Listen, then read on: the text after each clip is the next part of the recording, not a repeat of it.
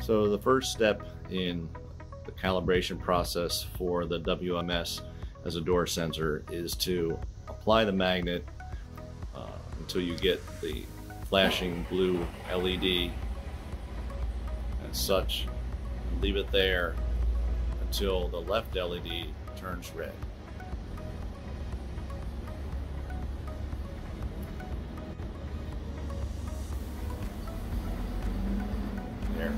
Remove the magnet and now you've activated the unit. That is step one. Okay, so now we're going to initialize the calibration procedure. We want to make sure the door is open at least 90 degrees and you place the magnet, hold it there until you get the flashing blue, continuously flashing. Approximately 15 seconds later, you'll get the alternating LED pattern.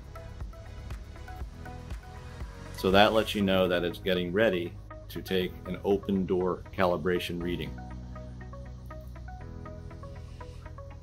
Once they start flashing together like that, it is actually taking the reading, let it continue to flash, and then it'll return to the alternating pattern, which then you'll shut the door.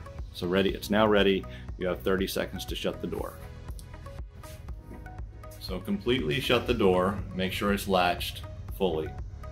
It'll continue to alternate and then it'll flash together when it actually does the closed door reading starting now.